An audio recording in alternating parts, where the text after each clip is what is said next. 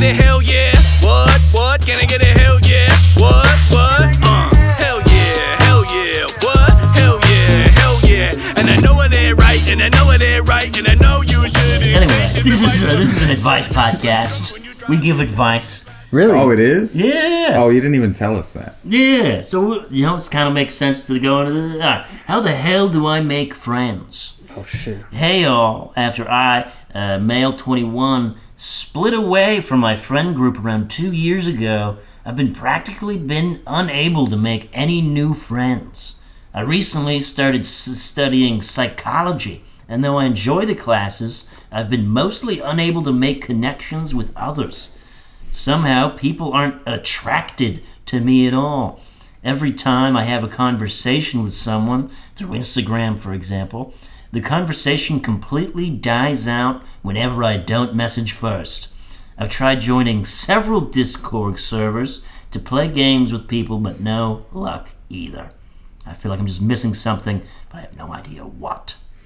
how, how um, does this guy make fucking friends, dude?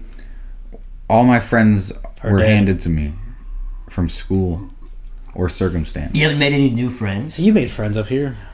Here? Yeah. In Sacramento that aren't comics? I mean, they're still friends. Yeah. Yeah, but how I don't actually hang out with anybody outside of comedy. On like not on purpose. But a lot It's of doing comedy is hanging out. Yeah. Yeah, which so it's like a it's a weird line that's of like between work, mm. work and casual. So this guy needs to find that. He needs to find a hobby. He needs to go out and do things with other people. Yeah. He needs to get into fighting. He should just fight people Bro, try rock climbing.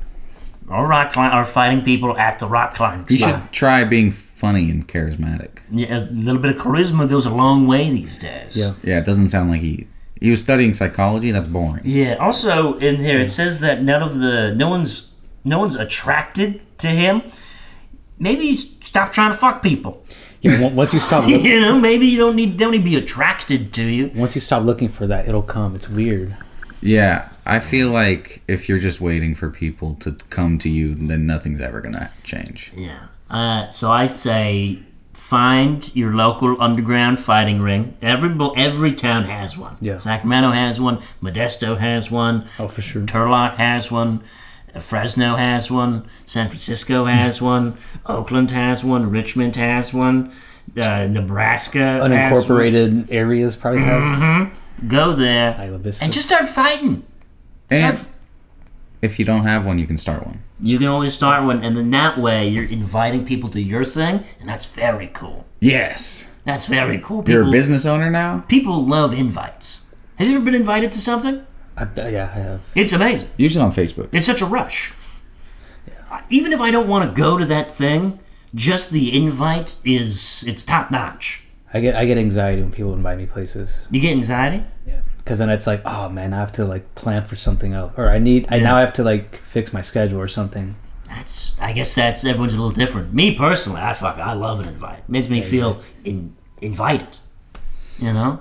Yeah. Yeah. What if invited to do something you don't want to do? I still like. I'd rather get invited to something I didn't want to do than not be invited to something I did not want to do. Yeah, because like it makes you feel loved and, and Yeah, like you're you're part of that. It's like a big hug, you know. You're right. That's Yeah. why I try not to invite you places. You don't want to give him a hug. Are you talking to Mike or me? No, I'm talking to you. I'm look- talking to David He Rodriguez. looked. He looked you right in the eyes. But he pointed at you. no, I guess it's general direction. I can't tell. But yeah, man, uh, join uh, something that you've always thought about doing. Join like a club. I'm sure wherever you live, there's like a club or like a community, and fucking just keep going, even though you don't want to. You got to put yourself out there. And You get into gardening. oh, don't do that's a We Yeah. dude, plenty of men garden. yeah Mexicans who have to. Nah, dude. There's a, a usually old white dudes garden. Yeah, Nothing's wrong with that, bro. Making the little bit of cabbage. I've never seen an old white. Oh, like a farmer? You mean? A farmer or just a local. Some guy who's just in his backyard. Some raised beds, dude. I've never seen an old man do that. Though. An old white man, especially. I've never. Well, you've never seen an old white man garden. You, Like in you, his backyard? No. you need to peek over a lot more fences. you need to snoop around the area a little bit. Because let me tell you, these these old white men, they be gardening. What type of? What are they doing? What are they growing out there? Oh well, it's seasonal. Peppers. They got they got peppers for sure. Your Anaheims, your jalapenos, your habaneros. And they got radishes, carrots. They love radishes. Um, weed is becoming a big thing Where? Everywhere. People. Yeah, the whole world. Every, this I don't know. Have you heard this thing? This thing called marijuana. I have, People are smoking it. but it's not as big as you think, right? It's I big. feel like it's really, really big, and it's like if you actually just talk to people, it's crazy how many people smoke. Mike, you smoke?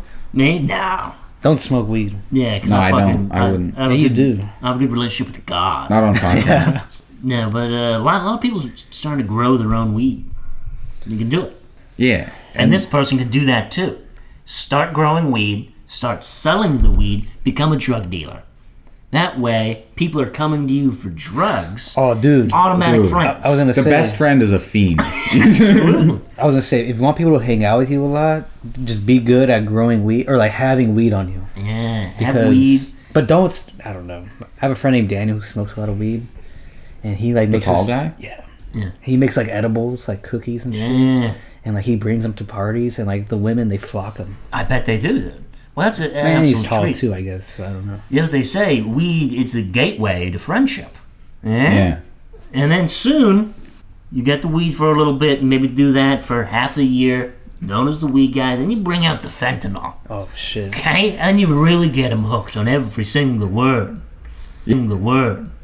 Yeah. Because when you're on fentanyl, you can't really pay attention to anything else Yeah. but what your fentanyl dealer tells you. And they, they can't get away either. You, they do a little fentanyl in their apartment, they can't walk out of there. Can I, use, Okay? can I use this pillow? You can use that pillow. Yeah. Are you sure? I'm positive. Use any pillow you want. Thanks. Can I use your bedroom pillow? No.